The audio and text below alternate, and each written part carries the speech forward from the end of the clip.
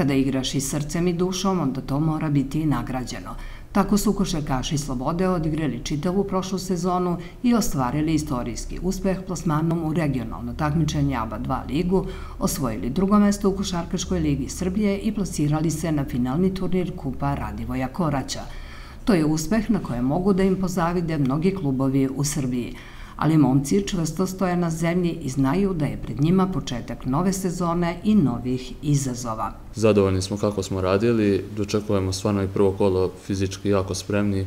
Igrali smo i sa ABA ligašima i pokazali smo da možemo s njima da se nosimo. Čitav u prošlu sezonu užički košarkaši su igrali vrlo modernu, lepu i atraktivnu košarku. Taj imidž pratit će ih i u ovogodišnjem takmičenju. Mislim da smo, da smo spremni za izazove. Neće biti lako, ABA 2 liga turniri za 15 dana 6-7 utakmica.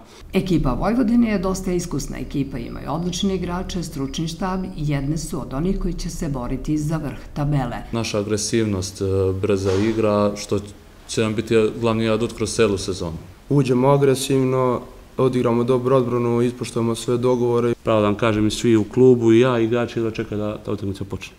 Da Sloboda nije dobro organizovan klub, ne bi bilo ni ovakvih rezultata. Zato su najzaslužniji sportski direktor Raša Radovanović koji je postavio novu filozofiju kluba i čvrste temelje.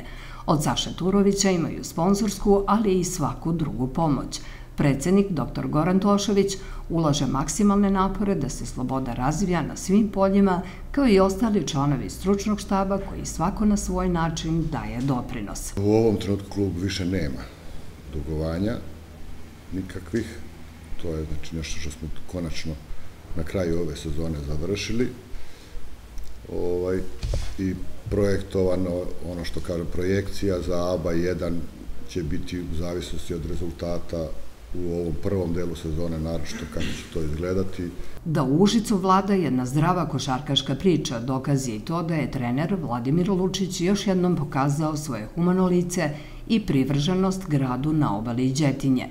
Popunio je Mozartov humanitarni tiket u Podne i stigao do fantastične sume od 141.200 dinara, a plemeniti dobitak je usmerio za dom za decu i omladinu Petar Radovanović.